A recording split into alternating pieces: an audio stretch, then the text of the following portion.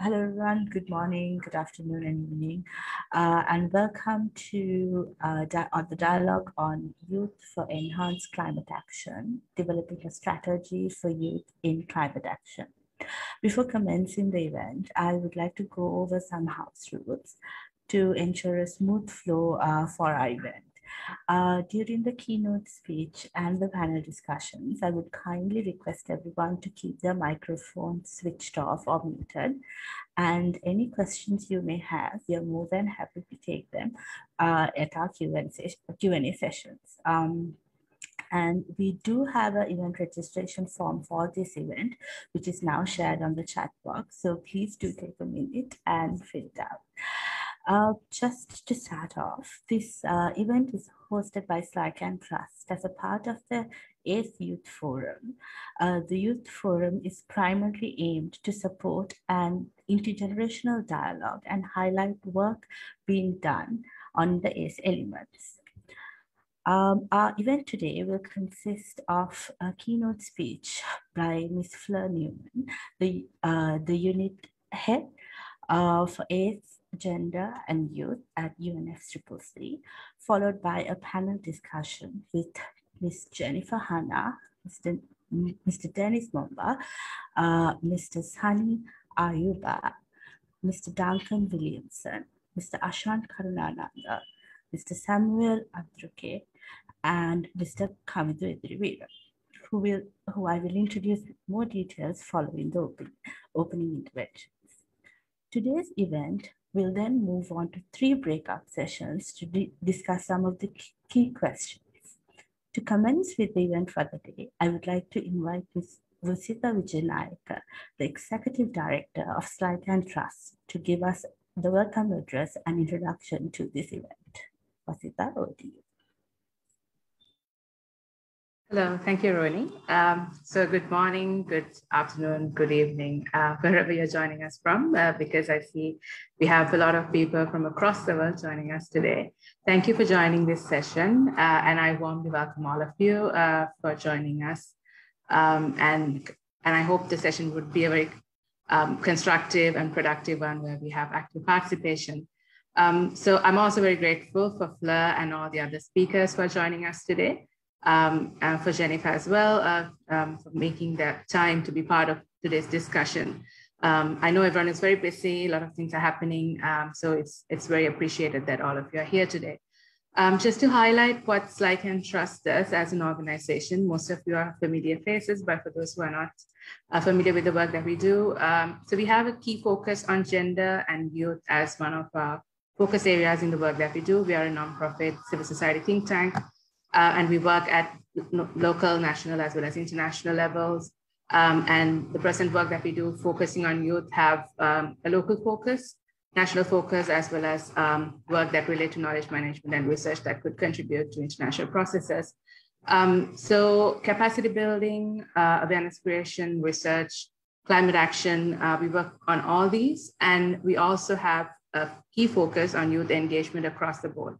Um, so we have some work that we're doing in Africa with some of our partners, uh, in Asia as well, and um, identifying how, for example, youth could be more in, included or engaged in decision-making processes which relate to climate change adaptation, um, for example, NDCs. So um, we're also doing work related to developing strategies, for example, youth climate action strategies.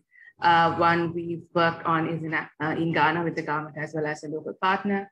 Uh, we are also working in Niger with some of our speakers here, and we hope to expand um, some of this work across uh, Africa with their partnership as well. I think Sunny would be able to give more information on this. Um, yeah, so and Food System Summit is an opportunity that uh, we've seized to engage youth as well. Um, so we have sessions happening. There's one happening on um, 26th of July as one of the parallel sessions of the pre-summit where we have a focus on youth and the engagement of youth in the processes related to food systems and risk management. Uh, so we're looking forward to seeing how we can engage youth more in risk transfer, risk management, uh, climate and disaster risk related discussions as well. Um, and one of the main things that we would be uh, focusing on in the few um, months that are coming ahead would be the Global Youth Forum, the launch of it for this year. Um, I think there are speakers who will give you more more information on this uh, in the next hour, so I'm not going to go into too many uh, aspects. I just want to welcome all of you, just lay a few things that we do uh, that we could contribute to your work as well as um, collaborate with you in doing work. Um, one note uh, before I close, um, we do a lot of work pro bono uh, when it comes to technical um, support provision. So if there are organizations um, that need technical support in developing policies and strategies and engaging in decision-making processes, like uh, related to knowledge products that relate to um, the work that I just mentioned, do get in touch with us. And um, I hope we can help you and work with you as well. So um, with that, I'll close uh, this welcome speech and uh, pass the mic to Ruwani. Thank you very much.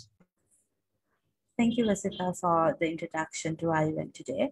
Uh, to move forward, I would like to invite our keynote speaker for the day, Ms. Fleur Newman, Unit Lead is Gender and Youth with the UNFCCC to address this event. Over to you. Thank you so much, Ruwani, and thank you to the Slycan Trust for the invitation to join you today. It's always um, my pleasure to, to, to be here with you.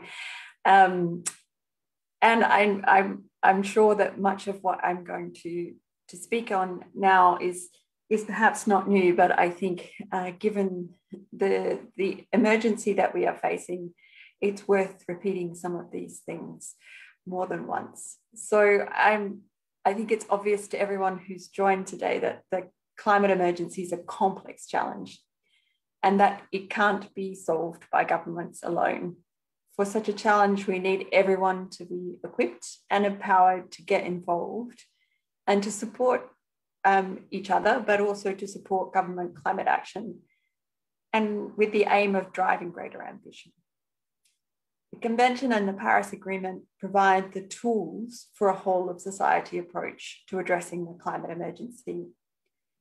Action for climate empowerment, and for again, for those who are on the call, I'm sure you know this, but for those who don't, also known as ACE, has its six interconnected elements climate education and training, as well as public awareness, public access to information, public participation, and international cooperation on all of these issues, and with children and, and youth as a cross cutting focus. Climate literacy is the cornerstone for implementing ambitious climate policy and action by ensuring a broad understanding of the issue and catalyzing innovation in climate mitigation and adaptive capacity. And ACE strives to ensure lifelong climate literacy for everyone. Although it has a focus on, and on children and youth, it also has a focus on inclusion of everyone. ACE is an important part of achieving a healthy, safe, and just future and it does take all segments of society. It provide, provides a framework for that education and empowerment for addressing climate change in the context of other big challenges. And we are continuing to face the challenge of COVID 19. All elements of ACE are also foundational for the just transitions that are required to move to the low carbon, climate resilient economies and societies that uh, the Paris Agreement envisages. Not only in obvious sectors such as renewable energy, but we need curious, clever minds turned to decarbonising public and private transport while making it more equi- while making it more equitable, rethinking urban and built environments, redesigning food systems, strengthening the resilience of our health systems, and redirecting capital, among many other areas. This obviously starts with quality education that integrates climate change across all curricula, from economics to civics to science to art and beyond. It starts in kindergarten, building through all of the different stages of, of formal education, as well as in vocational education we need to normalize lifelong learning in different formats because the climate emergency will continue to create firsts and unprecedented events. And as I speak to you today from Bonn, not 30 minutes away, one of those unprecedented events has happened and has caused tragic loss of life. What we want is for us all to be able to thrive. And for that, we need to be adaptable and agile. While technological solutions are undoubtedly needed, so too are solutions to address the urgent shifts in understanding and acceptance of the changes in our behaviour that the climate emergency demands. And the important role that youth must play in climate action cannot be overstated. It is your future, their future, that is being decided today by public and private investment or a lack of investment in climate resilient economies and societies. As such, young people have the right, and those of us who are not so young have a responsibility to ensure that young people can meaningfully contribute to addressing the challenge and shaping the future. I'd also like to highlight um, that we have, uh, I'd, I'd, like to highlight one of the um, multi-stakeholder initiatives. And, and, one of the things about ACE is that it is multi, multi-sectoral, multi-stakeholder, uh, uh, this, this, need to, to see things um, from a systems perspective we have a, an initiative known as the Youth Empowerment and Climate Action Platform, or YECAP, and that's been created to serve the needs of young people in Asia and Pacific. And it's a partnership between the UNFCCC, RCC in Bangkok, UNDP, UNICEF, and three youth constituencies, Youngo Movers and the 2030 Youth Force. And the YECAP activity, activities cover some of the areas um, that have been identified through consultations with uh, young people in the region and, and more broadly.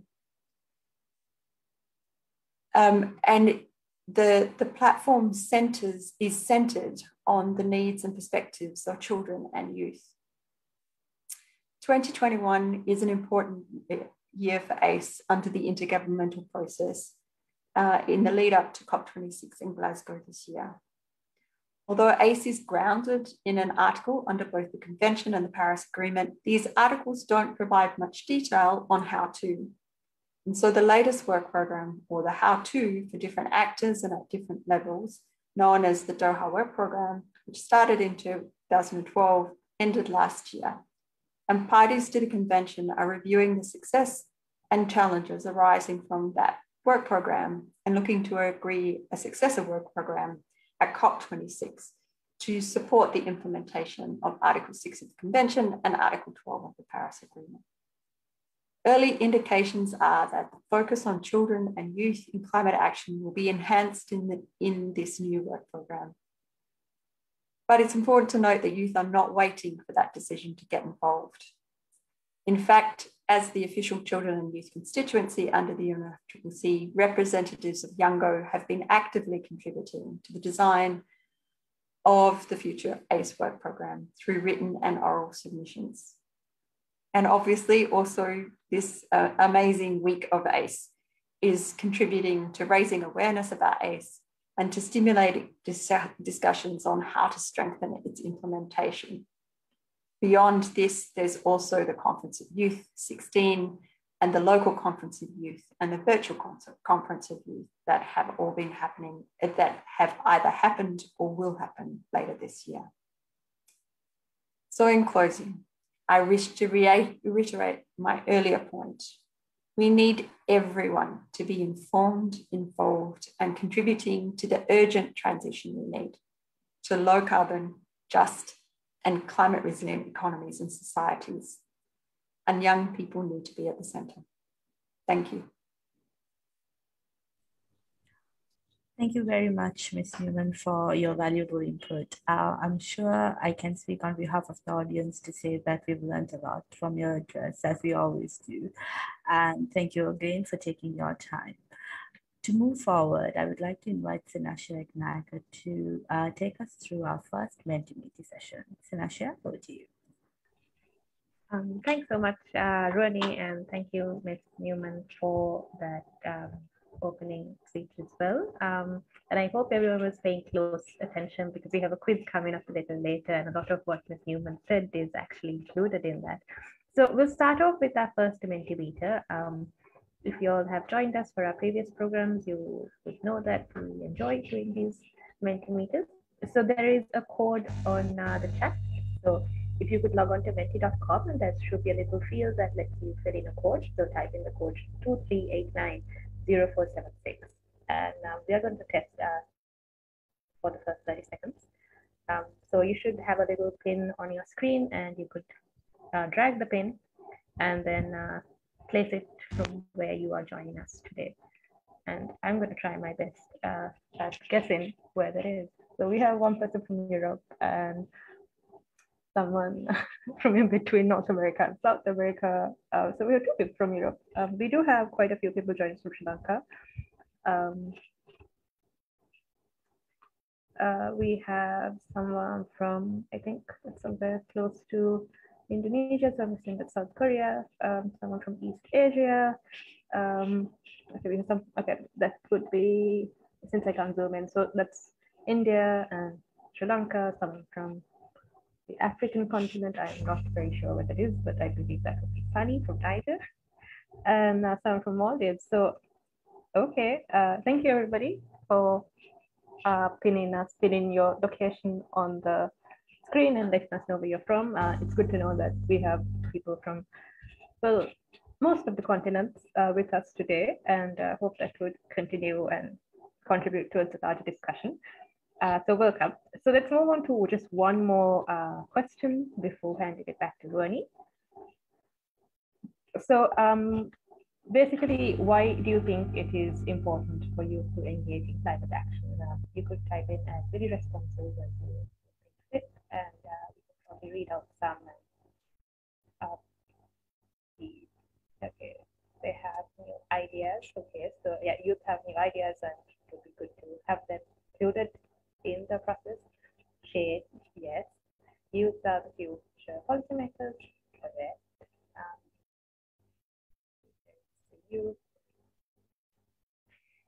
Okay. Uh, the older generations have failed to act in of trusted the right thing now.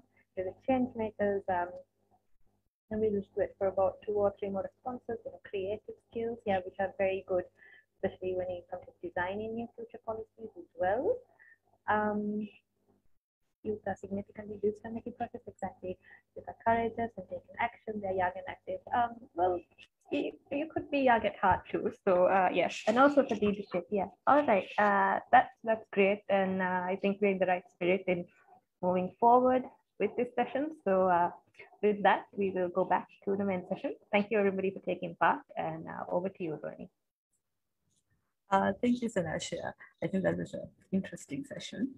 Uh, to move forward, now we'll be commencing the panel discussions with our distinguished panelists. Our panelists for the day are Ms.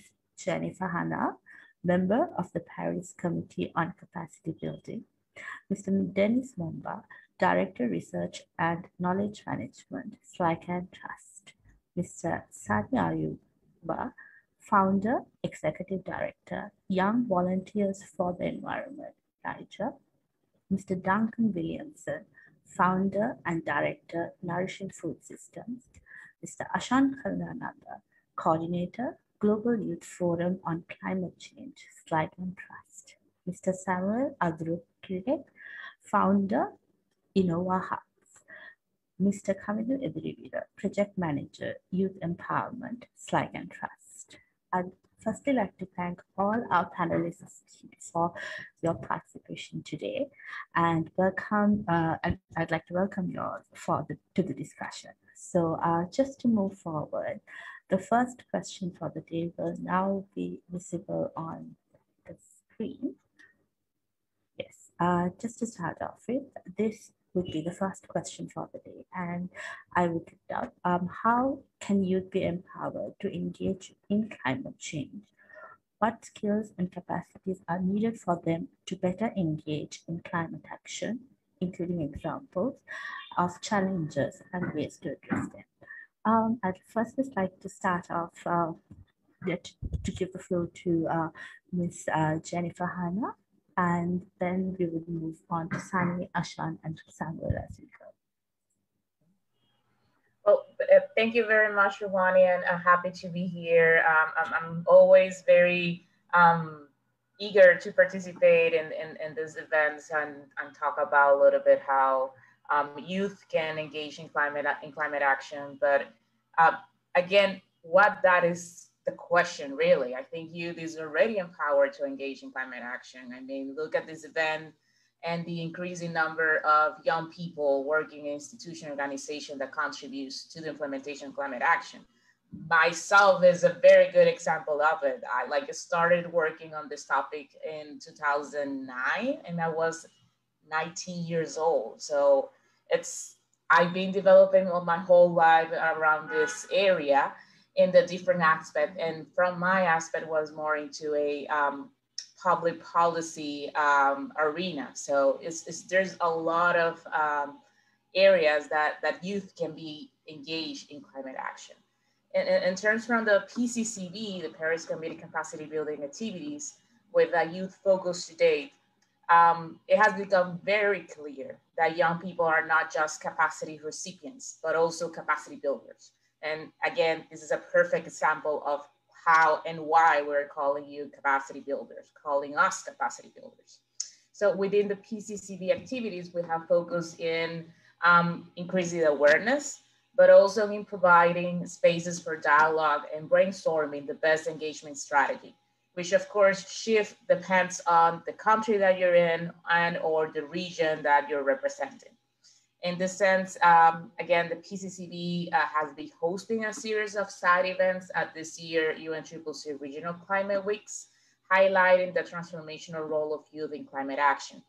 For example, within the um, Black side event, the Latin American Caribbean side event outcomes, uh, it was uh, a very strong call for enhanced youth access to finance, either through grants, loans, or scholarships to support the upscale and the increased uptake of innovations.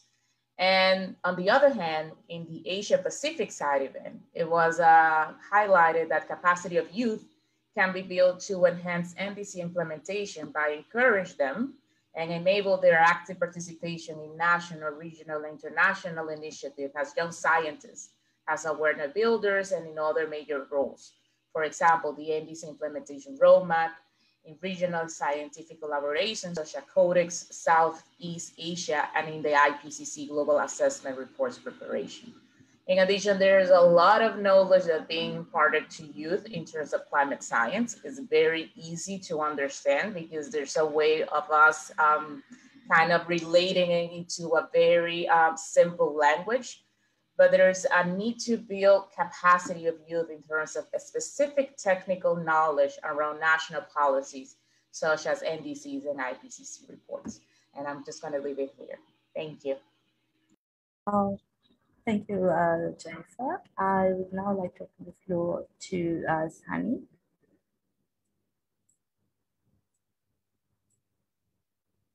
Um, okay, can you Yes, for me, I'm totally uh, agree about the, the.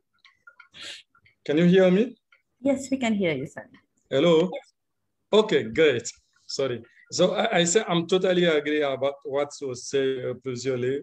So for for me, in terms of uh, how youth can be empowered to engage in climate change, it's very important to, uh, in uh, to, uh, in addition to what they say, is to see in the school curricula how we can include like topics uh, uh, that engage climate change action also. And also it's very important to, to engage at, uh, at the local level because uh, local level, they have many things that young people can do or must do, but sometimes they don't have the necessary skills to do it. So in terms of capacity building, I think it's very important to let them know what's climate change, what its impact, what scientists are saying about it, and uh, what do we have uh, in terms of strategize or like uh, adaptation or mitigation, and which one is very important depending on, on, on the country, on the context, on the local background. So, so for me, that is the kind of uh, uh, capacity that young people need. uh, young people need to understand the challenges regarding the climate change negotiation because you know when you go to the UNFCCC negotiation, there is not in every place or everywhere that you can have uh, the possibility to, to hear about the young voices. And also young people must be prepared in order to, to well deliver when they go through this kind of conferences and to analyze how the climate change impacts their community, how the climate change also uh, uh, impact their life, their daily life.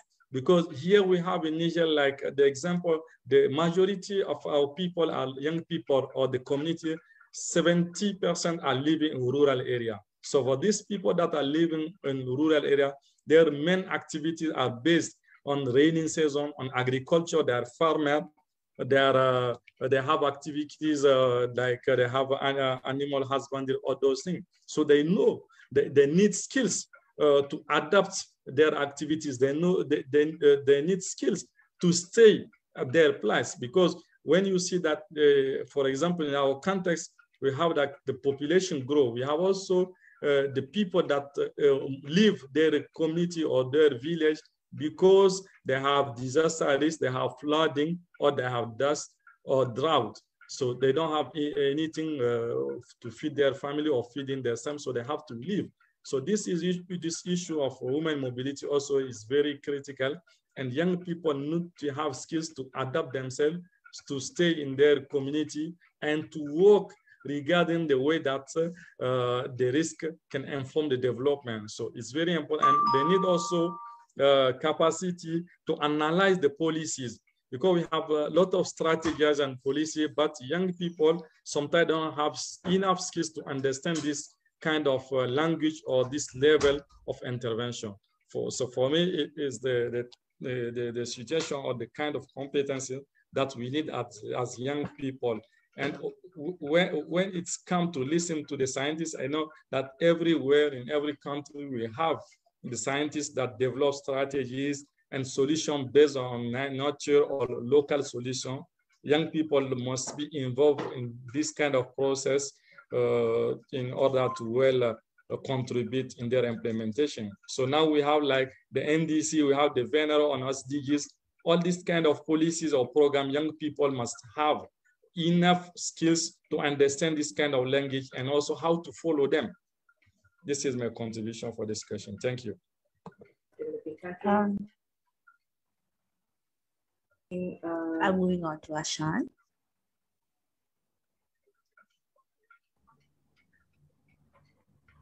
Uh, thank you very much, Ruwani. Uh, so uh, before moving to the question, I would like to like give a brief introduction on how the youth in uh, Sri Lanka, especially how they could like um, uh, work in a way in order to protect from uh, climate change. So if you take Sri Lanka, Sri Lanka is a small island located in the Indian Ocean. So over the past decade, climate change has impacted especially uh, Sri Lanka in a large way. And in the fact, Sri Lanka is one of the uh, rich biodiversity countries in the world.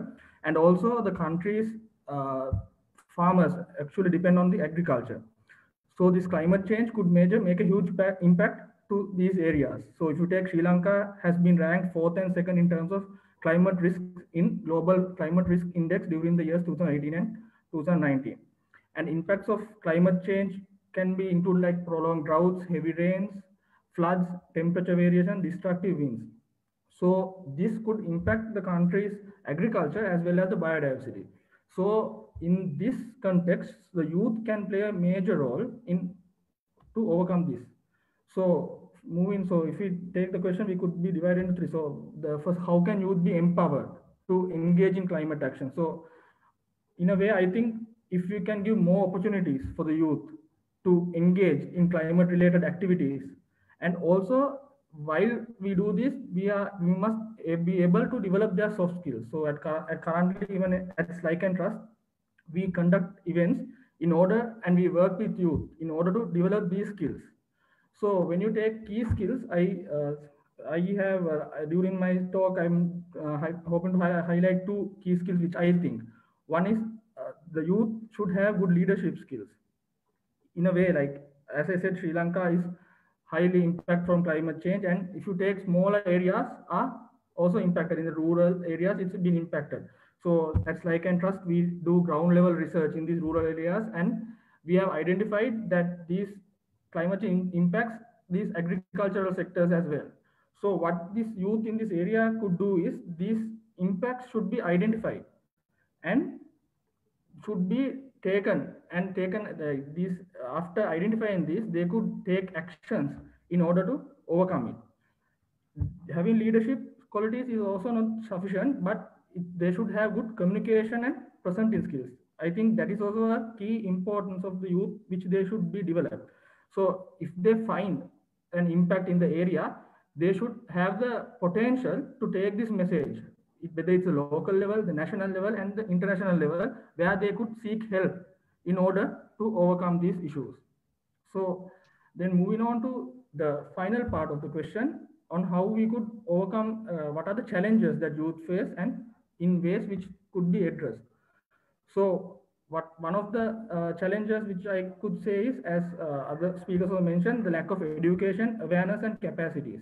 Especially this should be increased, especially in countries like Sri Lanka, we should work on it. So one way, uh, it's like we at SLYCAN Trust, what we have done is we are we have organized the Global Youth Forum, and last year it was organized with the fifth consecutive uh, consecutive time, and uh, participants across 70 countries joined this. Actually, it was a good platform for the youth where they were able to engage with other uh, participants from other countries, and in addition, the experts were allowed to uh, share their uh, ideas and uh, valuable presentations which help to gain knowledge. In addition, during this forum, we requested for proposals where youth got together and sent in proposals in the themes ocean and coastal ecosystems, biodiversity, climate change and disaster risk, and sustainable food systems. So these, uh, there was a voting system and the best eight was chosen and during the Global Youth Forum, these were developed with the comments of the experts. And now it's in the stage where we have uh, written to the uh, for the uh, improvement of these uh, proposals and hopefully we are going to implement these in uh, selected areas. And also this year, again, we are having a forum where the youth could join and uh, work with us. And another key area is the lack of finance, another challenge. So while uh, at SLYCAN Trust, so we work a lot with the youth, especially if you take uh, youth groups in environment organizations and other youth entities, we work a lot. And we have identified that they have very creative ideas and um, good projects where these issues could be overcome. And the major issue is that they lack in the finance in implementing them. So in a way, the Global Youth Forum is also a good platform where we could get them into uh, some connections so that they could work on their proposals more. So in future, we are planning uh, to have a good plan, uh, a good method of engaging more youth and to develop the capacities and gain, uh, give them more awareness in improving uh, their knowledge in climate change and how it impacts our country and how we could overcome it. So uh, that's it, it for me. Thank you. Thank you, Ashan. Uh, we, I would now hand over the floor to um, Samara for your input. All right, thank you very much, um, Ruwani, for the opportunity. And we, of course, know that uh, we read a lot, and of course, we know that youth need soft skills, capacity uh, to be built in the areas of negotiation, persuasive dialogues, and of course, policy advocacy, and of course, through legislative processes. And of course, um, youth can also be helped in social engineering uh, skills that can help them in assessment of uh, initiatives of, of practices, local practices uh, in local areas or in urban centers as it relates to climate change. And of course, uh, individual or on community basis. And of course, there needs to be uh, interactive approach to sustainable, um, sustainably managing uh, scenarios and situations based on cultural differences uh, of people they are relating with. And of course, uh, most importantly, their, uh, the youth needs uh, manage, managerial and management skills in approaching uh, challenges that has to do with climate change. And of course, these skills can be assessed through uh, the participations and practices in national adaptation planning, voluntary national reviews, and of course, uh, national uh, resource management control and knowledge of national determined contribution, the indices, and of course, key performance indices of some of these uh, uh, of these practices. And of course, we've been uh, in the midst of this in local in our local uh, areas and in local capacity, we've been able to contribute as youths or, or youth organization into national uh, planning or suggested inputs for the indices. And I think this uh, is a good approach where youth can also engage uh, uh to further uh, broaden their scope and widen their horizons and experience in the issues that are pertaining to climate change. And of course, in understanding how to turn uh, most of the declarations, protocols, ambitions into leadership and of course, with decisive actions based on their political, scientific, uh, legislative, or economic basis. And of course, uh, there are many uh, available platforms where you can actually learn a lot on, uh, on uh, they, they, they can actually have access to interactive learning tools on how to build most of these practices. And of course, we've heard about Agora tools um, being used to convey capacity building and training uh, information and of course uh, in a more interactive and in a more uh, integrative approach where uh, youths can better understand how to use uh, most of the tools that are available for, for mapping or for gathering data uh, based on indices, progress and processes. And of course, we know of the UNCC Learn, uh, we know of UNITAR, we know of UNICEF, uh, we know of UNDESA open data um, platforms and open learning platforms where youth can actually learn a lot about uh, what's, uh, what, what, what are the intricacies and the needful skills to be gained and the, of course the approach to go into uh, adaptation planning, um, NDCs, and of course, issues relating to climate change in their local areas. And of course, um, uh, youth can uh, better uh, solve challenges that are related to lack of uh, information, uh, to learning opportunities and access to financial instruments uh, can also be seen as a challenge, a major challenge, critical, critical challenge rather, to youth planning, of course, their own local initiatives, and of course, to solving uh, problems on the local basis on their own individually. So uh, youths need to leverage uh, already existing open knowledge platforms uh, to get information on relevant international laws, international treaties, charters, uh, protocols, conventions, and declarations.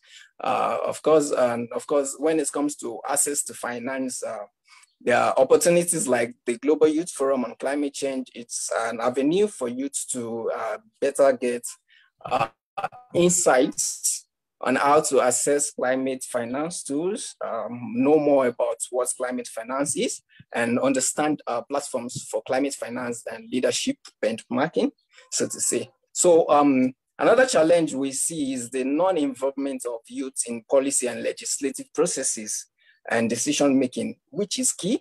It is fundamental that uh, youth begin to get on, on, on the decision table, decision making table, and of course, this is the area where uh, their action is needed the most. They need to sit and discuss uh, issues that are pertaining to their future because climate change has more impact on the future on the youth than the present uh, uh, people that people that are of this present age youth still has the future ahead of them and of course it's a matter that's been discussed about their future about uh, maybe they are whatever it is they uh, have as ambitions is a matter of uh, what the future holds for them. And of course, uh, climate action needs to be taken uh, at a time where it does need to be taken. So if youth can, at this point, begin to get into uh, on, on the table, decision-making table, it would require a lot of confidence. It would require a lot of um, leadership it will require a lot of character, and of course, it will require a lot of skills, like I mentioned before, negotiation skills, uh, technical skills in, of course, doing a lot of mapping, planning, and of course, integrating on the local, regional, and of course, on the global level. So at this point, I would like to drop uh, uh, uh, drop the mic and yield the floor to the next speaker. Thank you very much. Thank you very much, Samuel. Actually, thank you to all the speakers that gave the input on this. I think we are off to a very good start for this panel discussion. And I can see that we have a few questions coming on the chat as well. So if you all do have any questions for our panelists, please feel free to put them on the chat. We will be having a Q&A session after the panel discussion. So uh, to move on for to the second question, um, it is, how can education and awareness creation be a path to scale up climate action? Could you share experiences? Sorry. Uh, could you share experiences and examples from your work and references of good practices? So uh, to start off with, I'd like to give the floor uh, to Duncan to give us your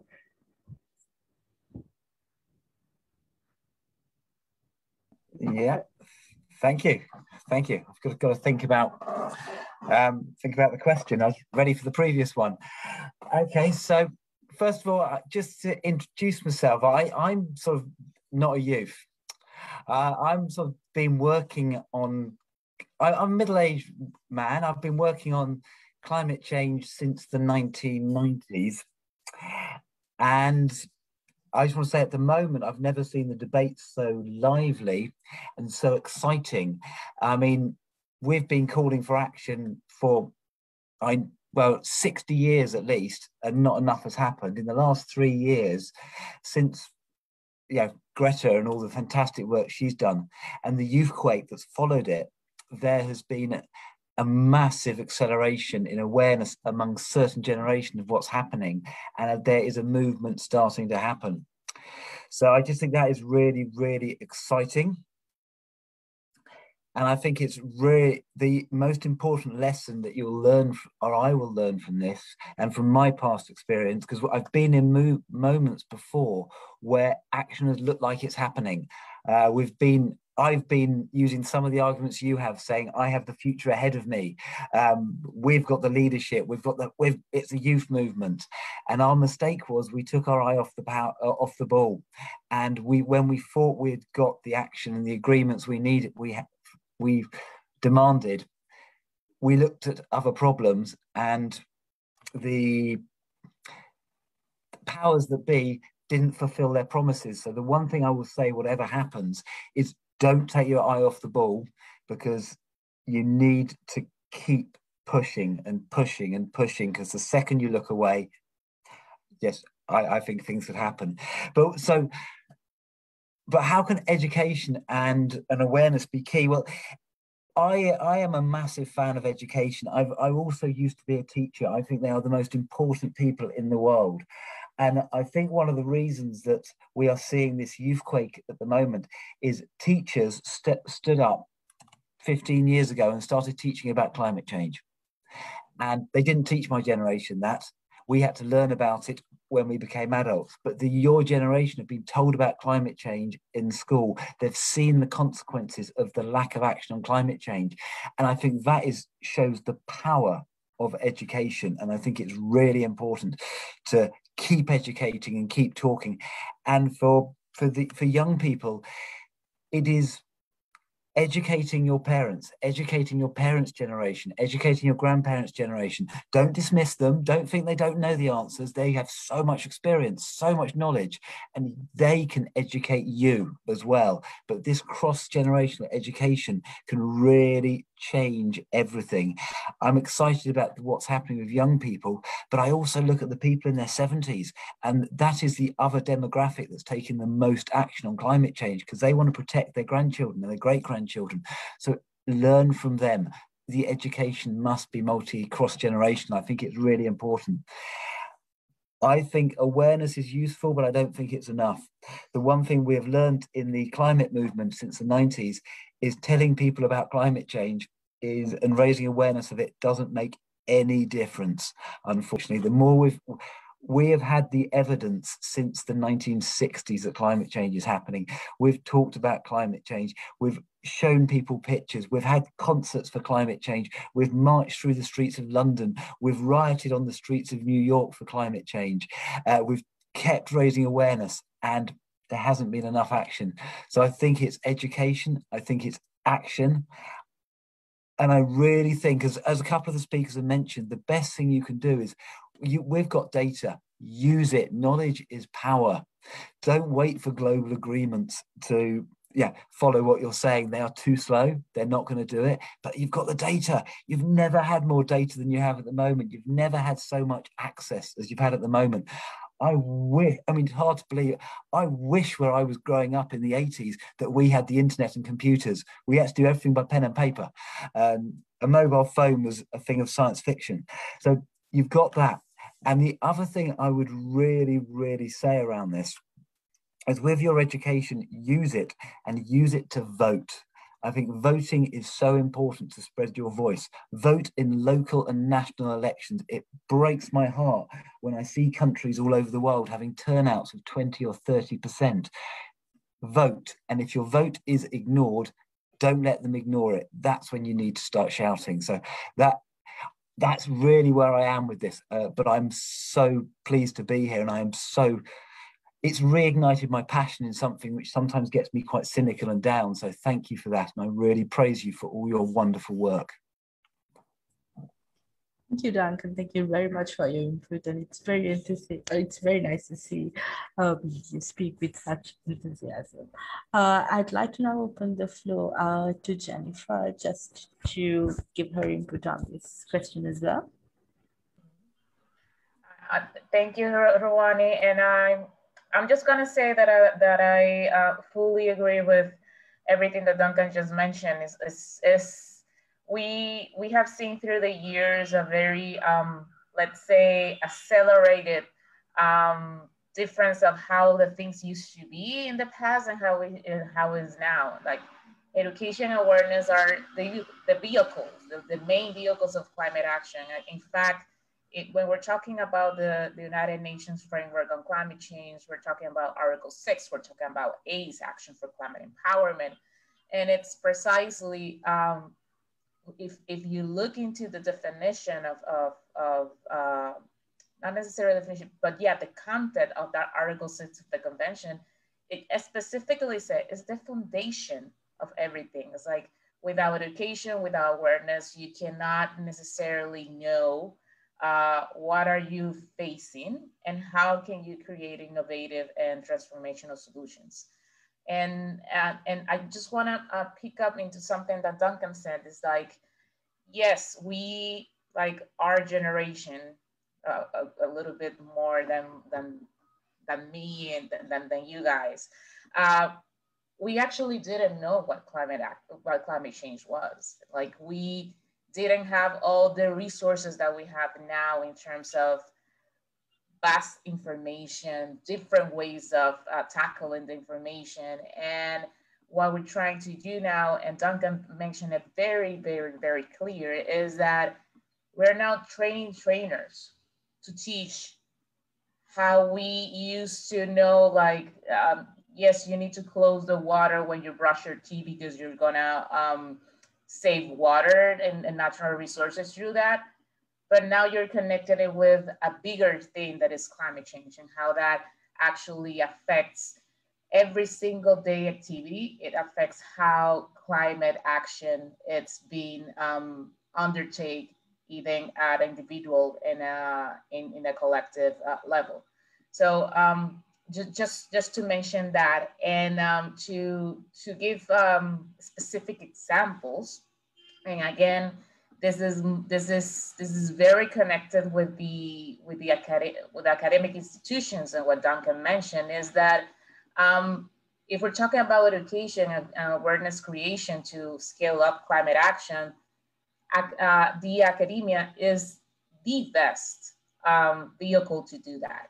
So um, there's also a need to rethink how academia tackles this because you cannot um, keep doing the uh, conventional way, the um, directional way of um, communicating, producing, and like teaching students uh, in a very, let's say, um, vertical uh, learning process. Now what we're trying to do is not only have a teacher or the the trainer stood up in front of you and like giving you this this this menu of options and this menu of, of ideas so you can just um, uh, get it in your head. No, what we're trying to do now is give you the tools for you as a human being, as a, a analytic being, be able to question yourself. Is this is this exactly the basis of everything? Is this correctly? Is this um, everything that that we're supposed to be thinking? Is in anything outside the box? So this is this is where um, the academia uh, has the biggest opportunity to scale climate action. And of course, awareness, awareness, awareness. You can you see it everywhere. You can see it even in a Instagram post. You can see it even in a single discussion through a WhatsApp chat. But um, again, one of the outcomes of um, the discussions that at the youth, um, let's say, uh, dialogue that we've been having in the PCCV, um, in the Asia Pacific region, there was a specific call for youth-led initiative within education systems. And this again connects back to how the academia is the perfect platform. So you can create change, but change into change based into a very specific science and foundation. It's not necessarily we're creating change, we are creating echo. No, we are creating, um, we're trying to create stronger education systems that focuses on climate action and sustainable development and not necessarily thinking about only natural resources and how is your relationship with the planet. It's thinking, it's, it's thinking that your relationship with the planet, it's impacting a little bit more than just my natural resources are, are like in a limited um, um, use. It's to engage uh, into a specific implementation of the NDC process, but also into a bigger connection of how do you, by connecting with that implementation of the NDC, you're also contributing with the sustainable development agenda of your country or your region, or specifically you as a human being. You have very specific ideas of how uh, sustainable development should be. So it's, it's, it's, it's there. Education awareness is, is our the vehicle and will continue to be the vehicle. It's just our, our role to identify the best way to actually use that. Thank you.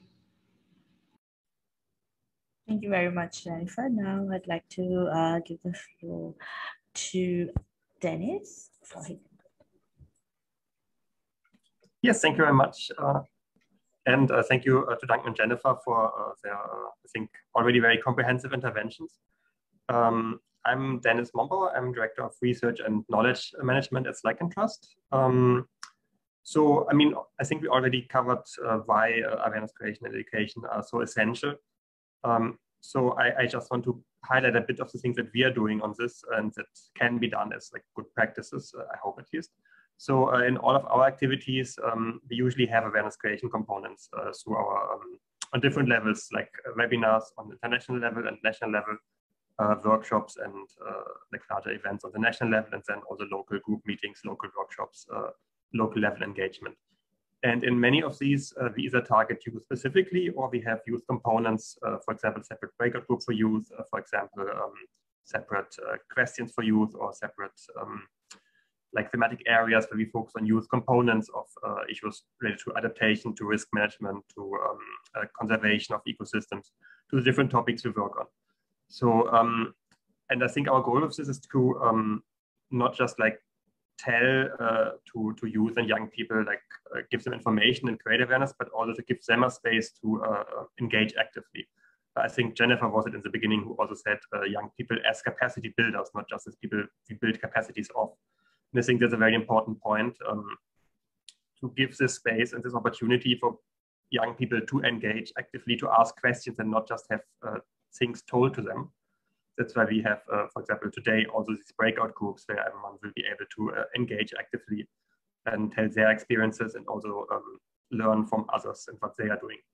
And I think these connections are a vital part of also awareness creation to um, to see what other youth are doing, what youth organizations are doing, how they're facing the same challenges uh, that you might be facing, and uh, how they uh, have overcome them, or um, what good practices they have used, what experience they had. Um, so yeah, I think this is an important component for awareness creation. Um, education, of course, is also very important and goes in a similar direction. Uh, I think there should be spaces created, opportunities given for uh, youth within the education uh, curriculum to have these, uh, let's say, extracurricular activities to engage in uh, um, climate action, to engage in like environmental conservation, to learn about these things without having to compromise like their um, educational success. So it should not be like things that are just happening on the side. Uh, it should be things that have uh, like uh, educational value attached to them and like also the form of credits. And one thing I would also like to highlight is the importance of when we talk about awareness and education to understand the baseline that is there and also the gaps, the areas that are not covered by the existing education system, by existing awareness uh, creation measures. So for example, in Sri Lanka, uh, we have um, conducted a, a, survey, an island representative study, where we interviewed youth uh, between, um, I think, 15 and 25 years in all nine provinces of Sri Lanka and basically uh, assessed their awareness of climate change, their engagement in climate action, the barriers and obstacles that they saw in engaging, and also the um, like willingness to engage. And uh, I cannot talk about the results yet. It's not published yet. It will be published uh, soon in the lead up to COP26. But um, I think there were very interesting findings and some aspects highlighted uh, where we have gaps in education and awareness creation that can be addressed uh, by uh, state actors, but also um, by organizations like and Trust, like uh, by think tanks, civil society organizations, community-based organizations, NGOs, like all these actors working in this field. And um, we try to do this through our uh, projects. We always have a youth component in the projects. We have some specific things focused on youth, like the Global Youth Forum on Climate Change that Ashan has mentioned. And uh, for everything else, we have youth components. We try to actively engage youth. And often we find that youth are already engaged in activities. They just don't know necessarily, for example, in the agricultural areas where we work with farming communities, they don't know how to link this to uh, like larger national processes and also international processes like those under the UNFCCC. And um, so I think we can also play a part in linking these things that are already happening, like these entrepreneurships, these uh, like uh, community initiatives, to link them to larger processes. Thank you. Thank you very much uh, for your input, Dennis. I would like to uh, hand it over to Sunny for his comment. Um, Sunny, can you hear us? I think you're muted uh, at the moment. Okay, so I, I, think it's very important what I say about the education because we know that education is the key. It's very much is uh, important uh, to engage young people and to let them know what we are in and to better educate them about the issue. So, for example, here in Niger, what we experiment is like you know, since 2012, uh, we created a green club club in school area. So those club is open for all the students at the at the school area. So they have like uh, a possibility to uh, to experiment or to implement in, a, in climate actions, smaller climate action, and also to receive what we call uh, an education for climate change and sustainable development It's a kind of a model, a program that we develop with some uh, uh, or some teacher and the lecturer that we have here in Asia. And together we develop this plan. And that's helped all the students that are member for this club to learn more about climate change, about the challenges that our environment are facing. And also in terms of practice that allowed them to develop or to implement some small projects in their school and also at their community level. So that's allow them to better understand small, small topic about like uh, agroecologic tools, uh, tree planting, uh, wash and uh, hygiene and sanitation activities in their school.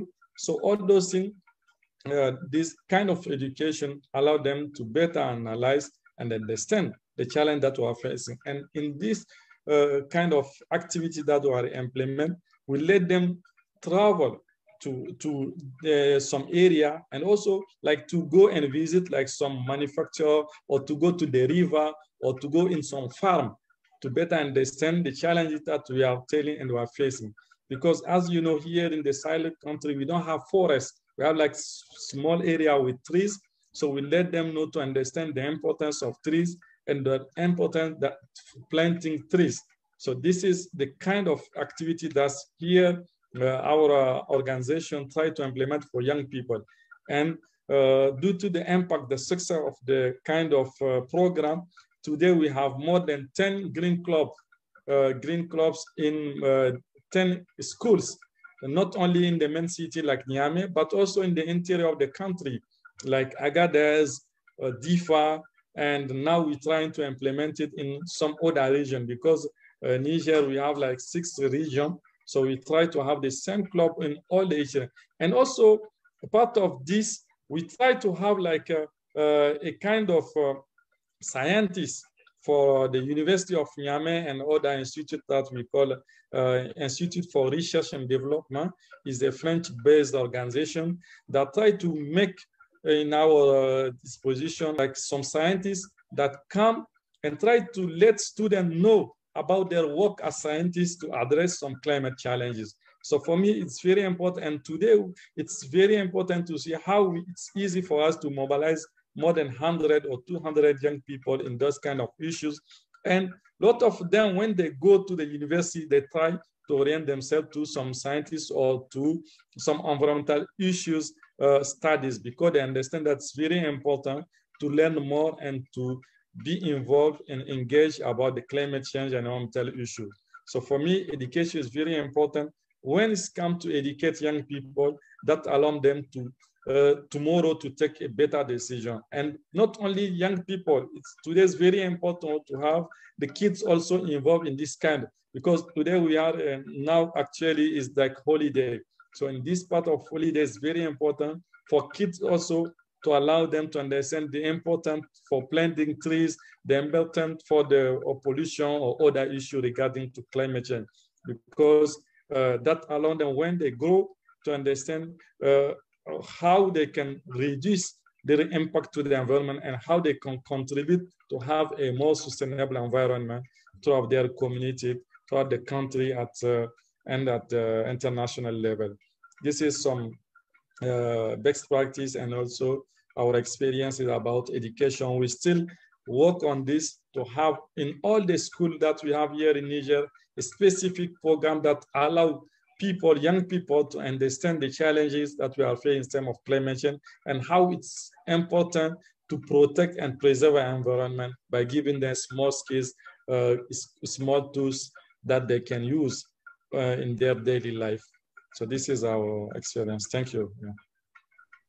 Thank you very much, Sani, for your input. I think this discussion is uh, very interesting and very um, inspiration for inspirational for all of us um, in the audience because you're bringing in experiences and challenges from all around the world. And that gives and that builds us a pathway to uh, to make sure that the future is looking better uh, especially with all the experiences that is currently being shared. So just to move on with our next question uh, it is um, access to information is seen as a key challenge for youth to engage in policy and decision-making processes. How can we address constraints and limitations through innovative solutions? I believe Duncan touched on this a little bit uh, at his uh, earlier discussion. So I'd like to open the floor again uh, to Duncan to get his input on this. Okay, thank you very much. So access to information yeah, I, I, what I was, I think I was trying to say earlier was we actually have more we have access to more information now than we have ever had. Um, and there are challenges around that, but we no longer have to go to the library to get a book to find out things. Uh, we are fortunate that we have the internet. Um, we are fortunate you can make freedom of information requests in many countries to governments and to corporates. There, it, it is very possible if you look you can find a lot of the information you need, whether it's for advocacy or whether it's for growing crops. I'm in the process of setting up a community farm at the moment, and I, have literally gone on the internet and I've been using the informa- information there to develop a lot of the tools. We've created a community interest company. I've got the local village involved. We've got hold of the land. So, and so all of that would have been a, taken a lot longer and been a lot harder many years ago. So I think we've got to accept that we could always have more information, but we've got a lot of information. And there's, and I think you look at some bodies like the UN, they are very good at sharing information and research. So, so sometimes I think it's people need to look for it because it's often there. And I've, I'm, I spent a lot of my career researching and I found you can find things. There is a big risk on information at the moment where you have information that fulfills your own bias. So if you whether you're using Facebook, LinkedIn, you go wherever you go, you often end up having self-fulfilling information. So I think what's really important when you look at information is always question the conclusion and always look for an opposing view.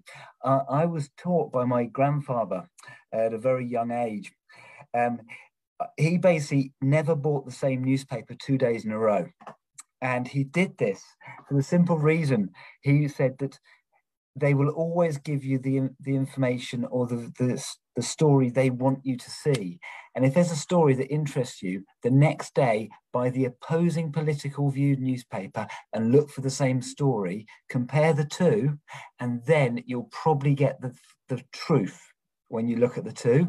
And that's always stayed with me for my life. So when we're looking for information, always look for an opposing view because that can change what you're doing and that helps to avoid confirmation bias. Um, so that for me is my biggest lesson I've had.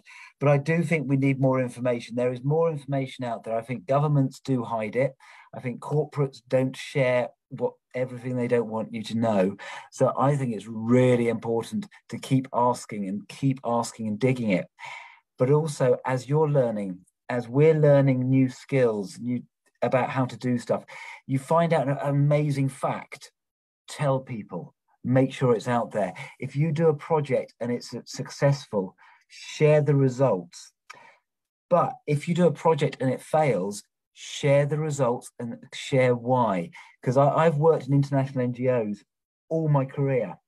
And we are very, very, very, very, very good at telling you when we've done things right, but we are rubbish at telling you when we've done things wrong. And that can sometimes mean you end up going to somewhere to do a project, and there's been five NGOs doing it before you. They have spent thousands and thousands of dollars on it, repeating the same mistakes. So I think that's the other thing. Share your mistakes and your failures. They are, if anything, more valuable than your successes. And then just talk to people about it. I don't care who you talk to, just talk to as many people as possible and share those facts. Thank you, Duncan. Thank you very much. That was very insightful and very, very useful. Um, so I'd just like to hand uh, the floor to Samuel to give his inputs on this as well. Yeah, thank you very much. Um, the issue of uh, information uh, as a major challenge in reaching uh, in reaching out to communities or to people or to uh, taking actions at the community level is uh, one of the fundamental things that we believe uh, can be can can be can be transformed.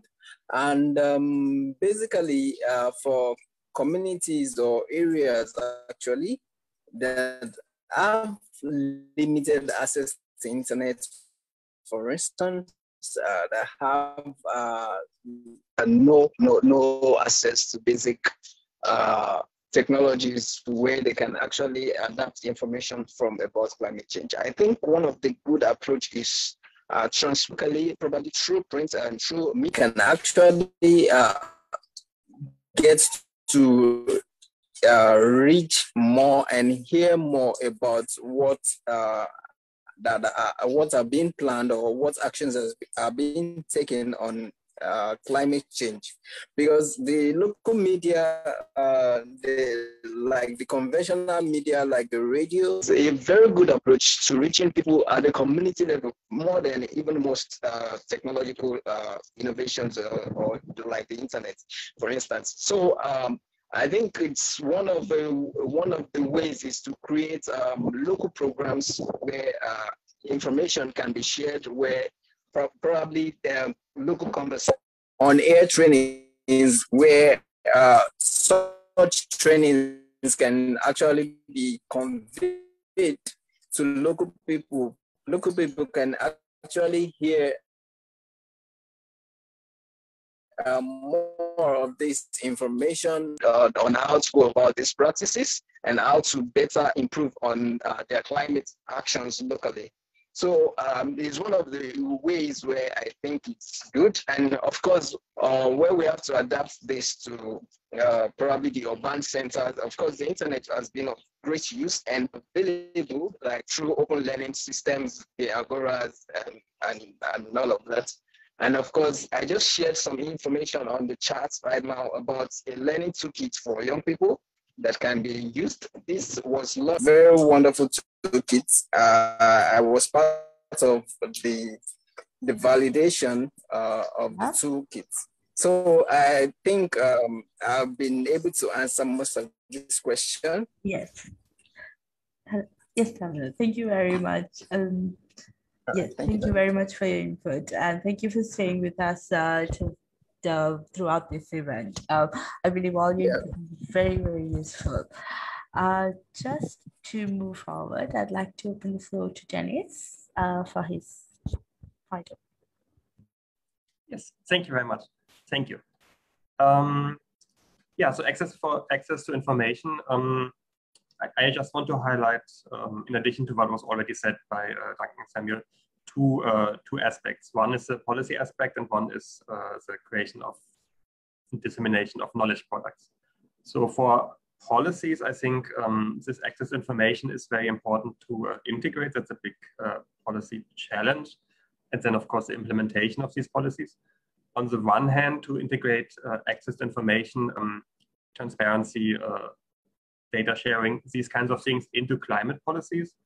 But on the other hand, also, of course, to integrate climate change into existing uh, data sharing and uh, information and uh, transparency policies. So uh, in, in national climate policies, in national adaptation plans, in the NDCs, in uh, other climate-related plans, processes, policies, we can push to integrate uh, this public access to information and also um, information sharing between different institutions, between different levels, and between government entities and uh, civil society and youth. And on the other hand, um, and that extends also, of course, not just to uh, policies by the government, but also institutional policies by, um, by the private sector and civil society organizations, NGOs. And I very much would like to underline what Duncan has said, also not to share only um, successes, but also to share um, failures and to uh, share information, uh, even when things have been abandoned, like share information on why uh, these things haven't happened, why uh, they uh, had to be abandoned. And also, um, I think for NGOs, it's also important to share what they are doing. Even though they're not government entities, um, I think there's still a, a, public interest to know what they're doing and uh, to share information on their projects also. And then knowledge products, uh, that's a lot what we are doing also to um, enhance access to information. We try to create knowledge products about issues uh, that affect youth and also for youth. So for example, last year, um, during the TEPA uh, process, it's a technical examination process and adaptation, um, we published uh, three um, knowledge products that highlighted the role of um, public participation in climate change adaptation, on uh, integration of adaptation into education, and on um, youth engagement for adaptation. Uh, so those can go to policymakers, organizations working on these topics uh, to better um, identify the key areas that should be integrated and also the gaps in integration. And on the other hand, we try to create knowledge products that are useful for youth specifically and uh, accessible for youth also. Um, and I think there's a lot that can be done to make them more accessible, to summarize information in like a, a visual way, to have them translated into local languages, I think is very important, and also to local contexts. Uh, there's a lot of knowledge products out there, um, very good knowledge products that highlight many issues. But then if you go like to a local level, there's very little available in, on specific knowledge products. Uh, for example, for youth in farming communities in Sri Lanka, uh, there's not a lot of information available how they could, uh, how climate change affects them and how they can engage in climate um, action. So there are these gaps that are there um, that organizations like and Trust can work to fill. And um, I think it's a big challenge to make uh, knowledge products uh, both informative and accessible. Um, but I think it's certainly possible, and uh, we are working on this to uh, really enhance the access to information on things we are working on, on the topics that we are um, we have expertise in. Yeah, thank you. Thank you very much, Dennis. And uh, I, I, believe we've got a lot of information, a lot of input. Uh, and if anybody has any questions, please do share with us um, on the chat box. And there's a lot of information that is being shared on the chat box with regards to everything that we're speaking at the moment. Um, just to move on to our final question. Uh, what international and regional actions are taken to support the empower it support and empower youth to engage in climate action at local, national, and international levels. I'd like to start this question off uh, by giving the floor, uh, floor to Kamilu.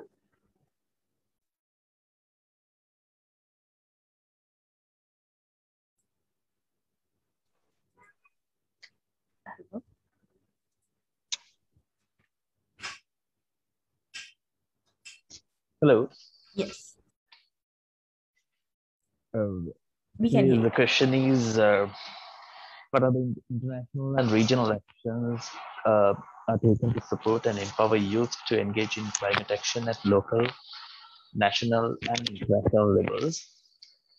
Uh, when you see this uh, the question, there are you know there are many processes that can be taken into consideration when it comes to international and regional process that are related to climate change that empowers youth as a key stakeholder.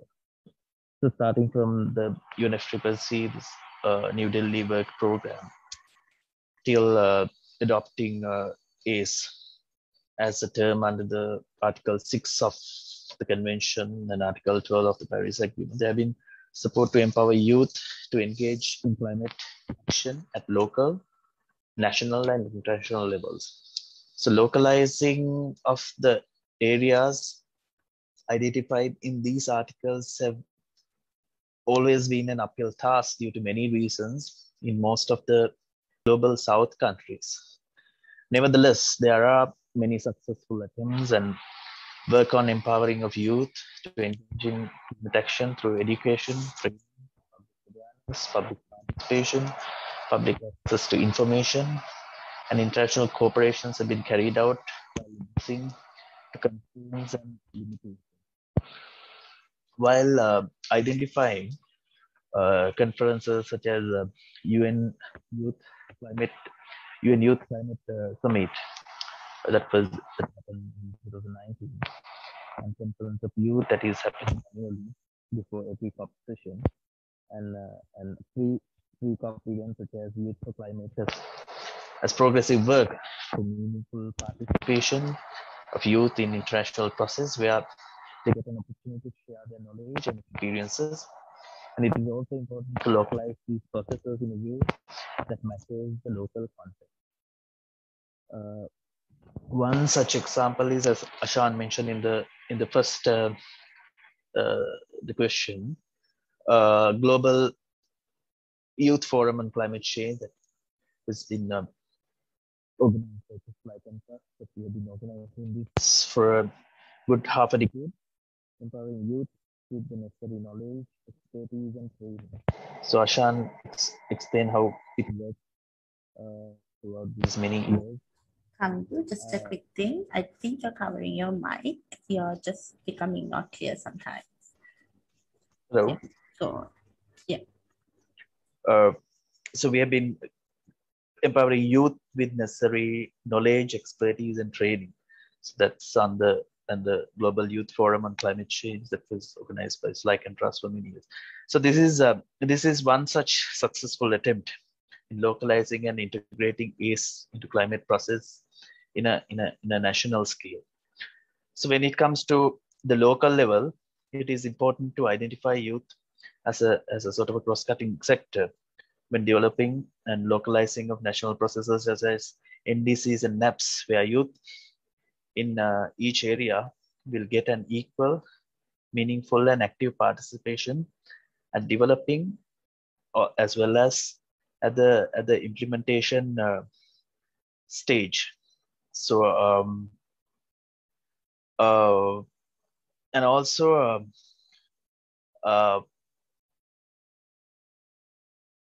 internationally, the collaboration between uh, multiple youth stakeholders who are engaged in such work is is very imperative so that there is a greater effectiveness in action. So the strength of a large collective of individuals and groups also ensure policymakers and global leaders sit up and take notice and act. So positive change is very possible and youth are one of the biggest drivers of this change. So, so I think it is very important to address these issues, taking youth as a as a sector, as a as a uh, as a sector for when, when you are in the decision making process and also the policy making process. That's it from my end as we are running out of time. Yes, um, thank you, Kamidu. I'd like to get the get uh, the input from uh, Duncan on this question as well. Yes, sure. Um, thank you. So the international regional actions taken to support and empower youth to engage on climate. I mean, one thing, what I, I would say is actually uh, youth and young people have created the space to engage in the last three or four years because previously the options were not there.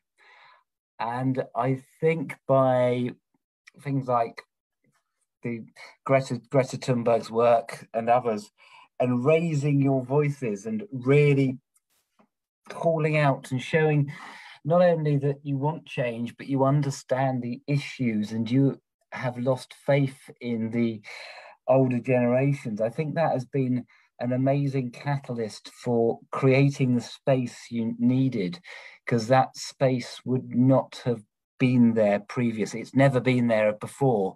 And now, I mean, I'm working on COP26 on the Glasgow Dialogues, which are getting groups together to talk about the future of food and how that's related to climate change. And we have we are hosting dialogues based around youth for young people to get involved, and we're taking them to COP26. And I think that we suddenly feel that we can do it because people are engaging on it.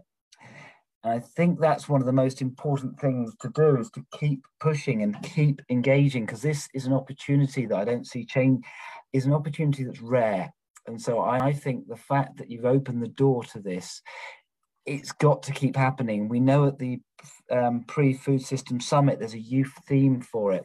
We know the pre-COP um, in Milan at the end of September. There's a huge focus on young people and a youth summit in Milan as well. And I really think you have to engage on them. You have to, whether or not you support them 100%, you need to make sure you're there to have your voices heard.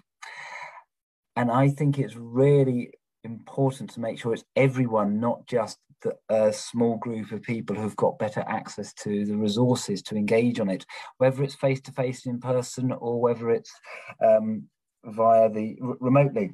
So I think that for me is what's really important. I don't think enough actions are being taken to support and empower youth, and you're having to create the space.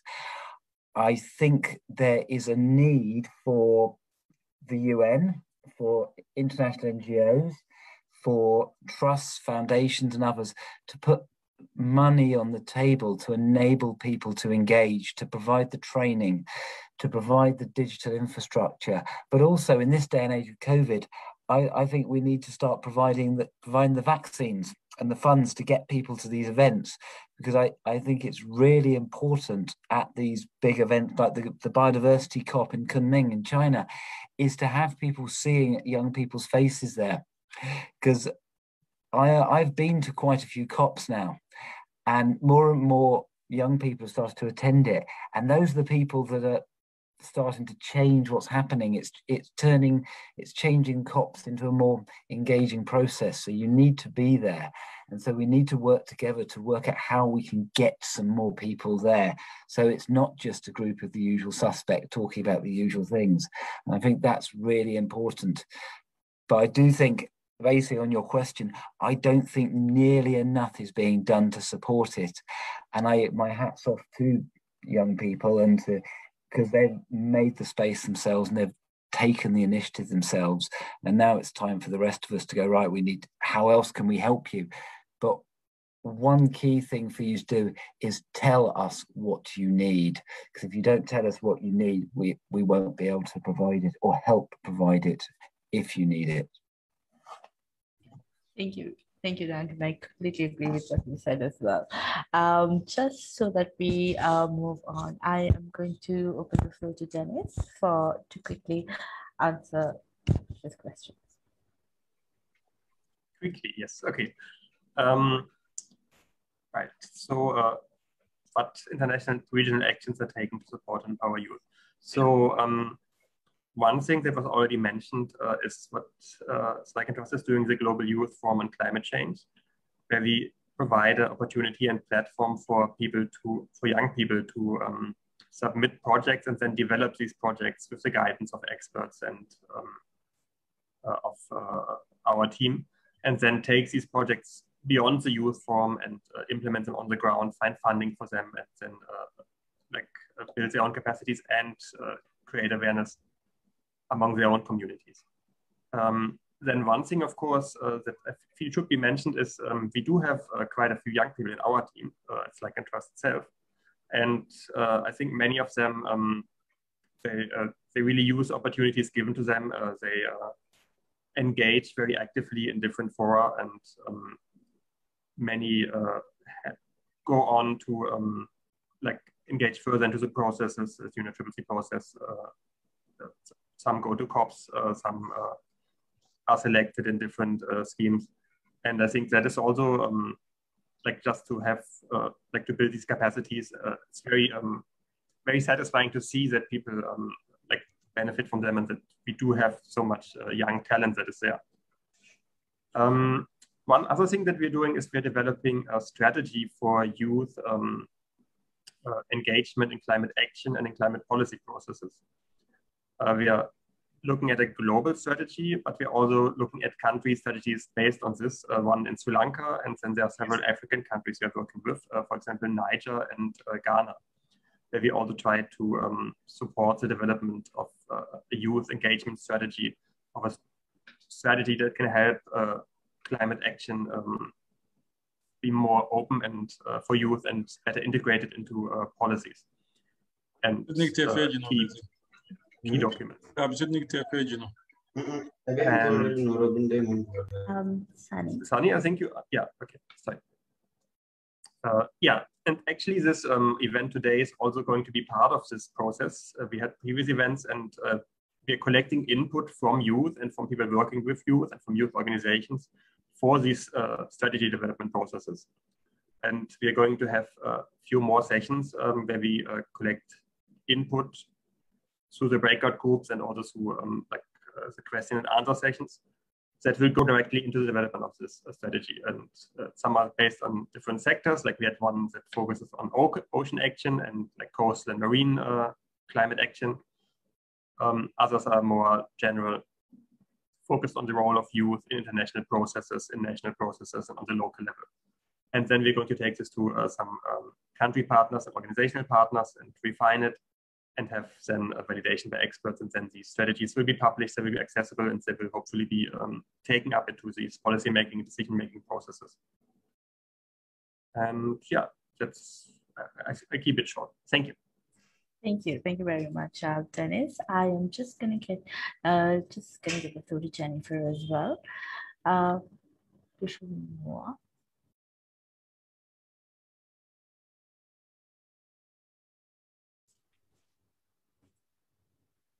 Ruwani, Jennifer has yes. said on the chat that she has uh, that she's leaving. I'm, I'm so sorry, I just saw that. Uh, so, um, Sami, I would like to check with you if you would be able to uh, give your inputs for this question as well.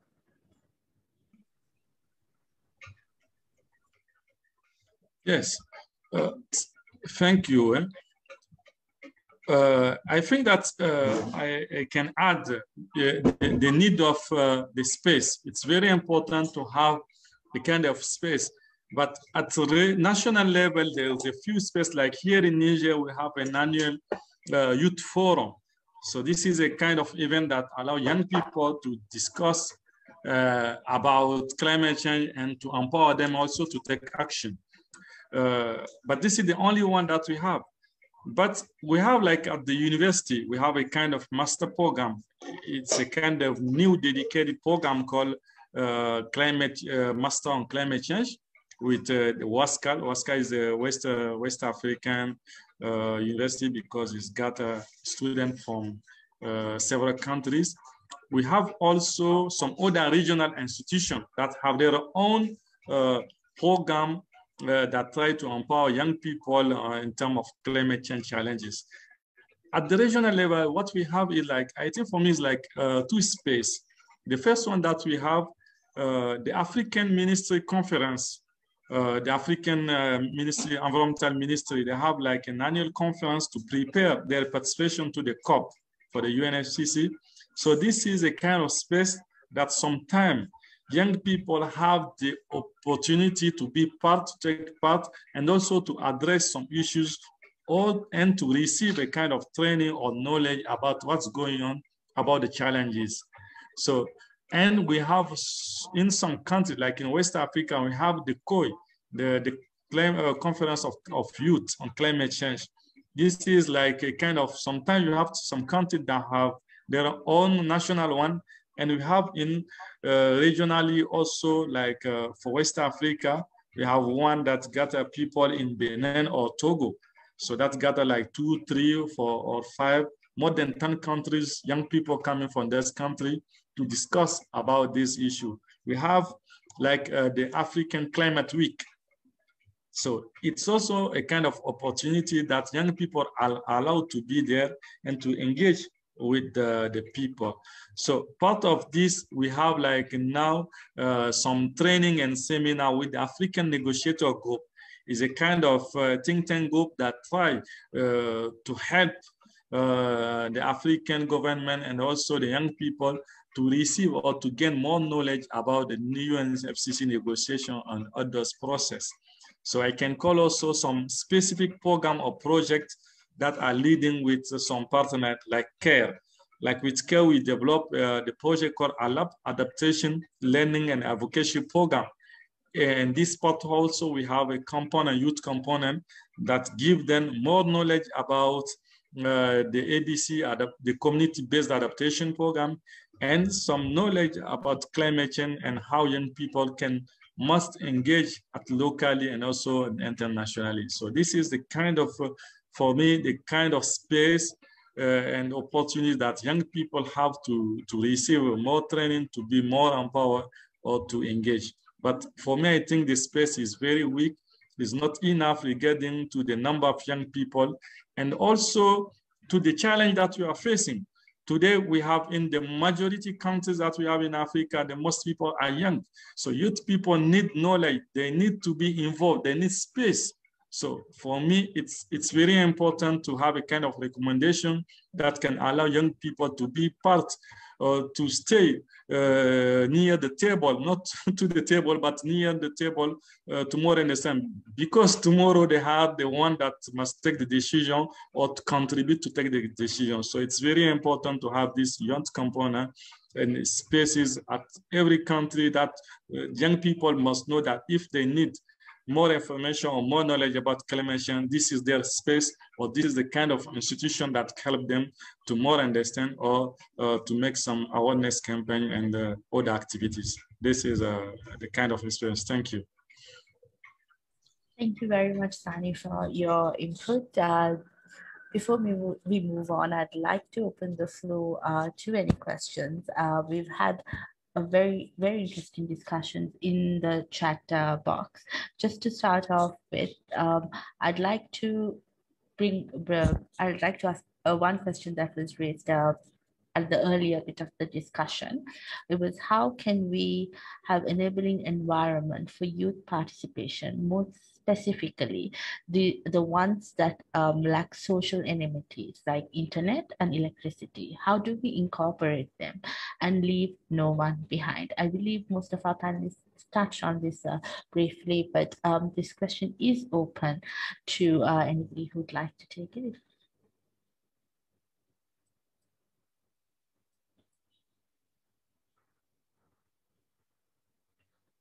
To uh, Duncan or Dennis, who anybody who would like to just uh, give their opinion on this question.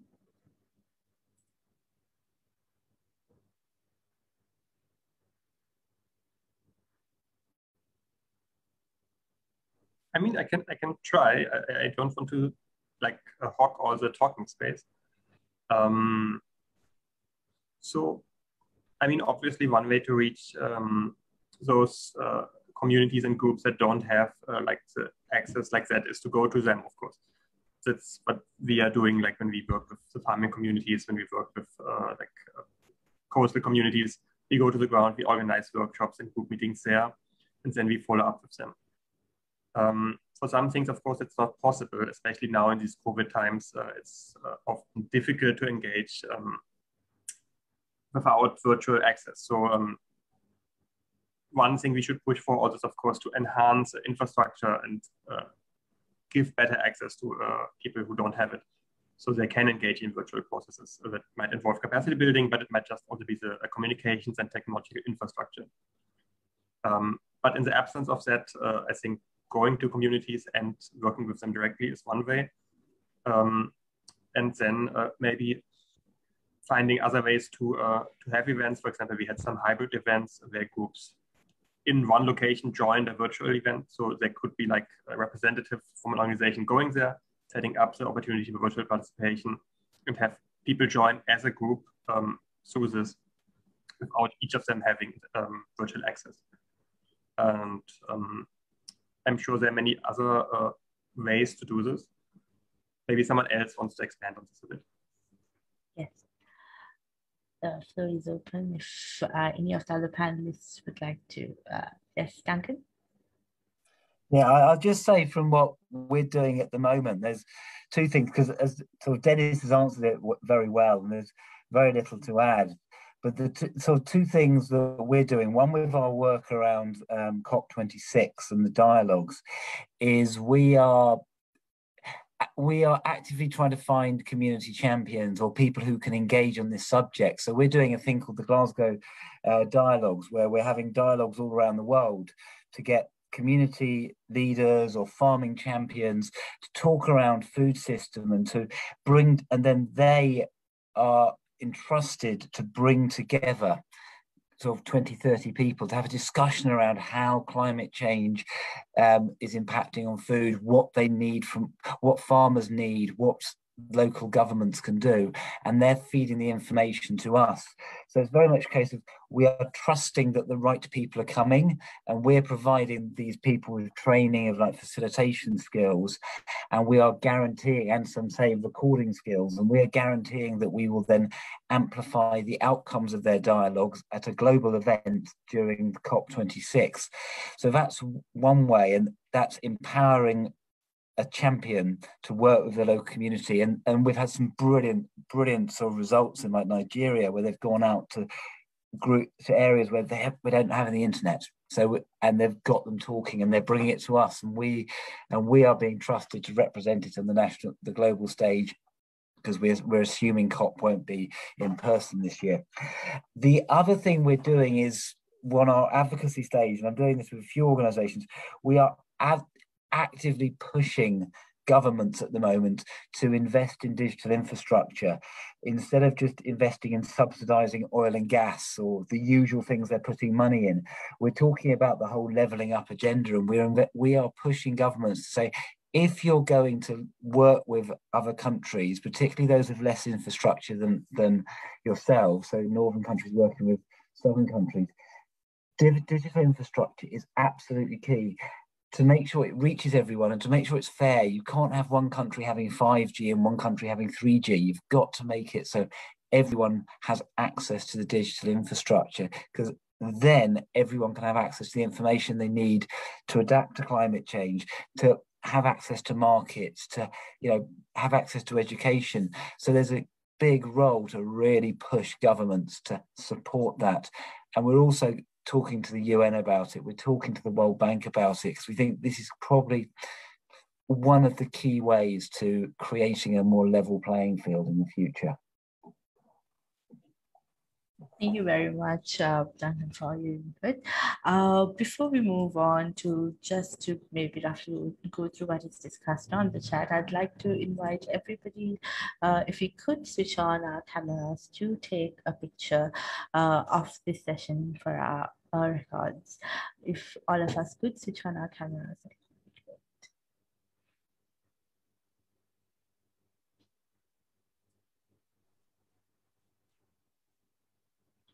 We'll wait another minute, a few seconds rather. Um, okay, everyone, please give us your biggest smiles while we take a few screenshots. Just keep smiling because we're going to take as many as we can. Thank you.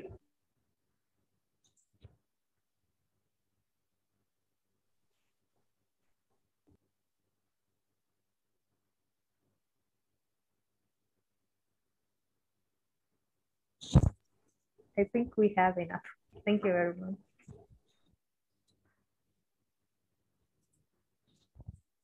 Thank you, everybody. Uh, just before we move on, um, I'd like to uh, uh, invite anyone who has any questions to unmute themselves and ask if you do so. Yes.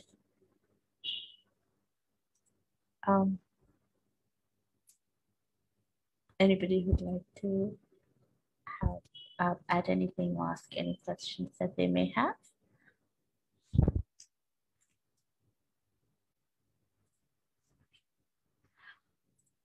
Um, just to run through some of the things that were discussed in the chat, uh, there was limitation to access in terms of information um, because of the language barrier. And there was a discussion on how uh, transmit and reach of information in rural, rural areas uh, with local languages uh, is something that needs to be looked at. So there were very, uh, very important and very informative discussions in the chat, and there are quite a few links for very uh, interesting tools that was shared by our panelists on, on the chat as well. So if you all could refer to the chat, you'll be able to uh, access these tools as well. Just before we move on, I'd like to thank everyone, uh, thank our panelists uh, for the very knowledgeable session. Um, and I believe we all gathered a lot of information uh, and points of action. Now, we are now going to move on to our breakout sessions where we all will be discussing um, a few questions and our ideas on certain challenges. Um, yes, I believe we have uh, Maurice who has raised your hand. Yes. Hello everyone, um, good evening from Philippines. I'm Maurice Janoxillas. By the way, I would like to thank uh, the organizers for having this kind of webinar. But um, you know, I would I would like also to give my inputs regarding climate change here in Philippines. So for me, I think we need to increase awareness uh, of young people because I'm also I am also a DRRM advocate and a disaster officer here in Philippines. So we we move um, we're going to uh, we we're, we are conducting uh, different kinds of um, information dissemination in community.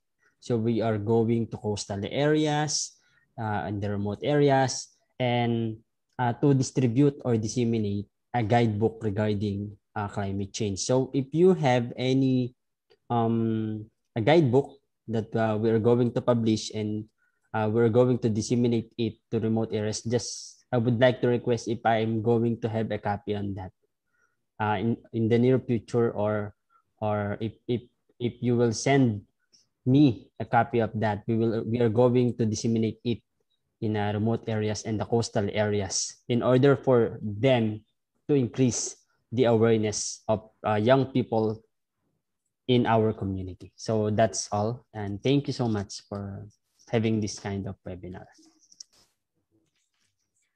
Thank you very much for your input, Maurice. That was very, uh, very insightful. So now uh, we would like to move into our breakout sessions. And uh, yes, so before we do that, I'd like to again thank all our, our panelists for their valuable input and everything that you have said. I believe personally we've learned a lot from different processes to challenges and very innovative solutions from all parts of the world, which is very inspirational and encouraging. So let's take this enthusiasm and go into our breakout rooms to provide all our inputs there as well and you will base you will uh, get a box uh, a drop uh, um, a dialog box on your screen to join these breakout groups now give us a minute or so Thanks, Rennie. And uh, just also want to thank everyone who joined us on Facebook. We will be ending the stream now. So thank you very much. And uh, in case you want to join, just drop us a message on Facebook and we'll send you a link. But thank you to those who joined us on Facebook and the room should open in about 30 seconds.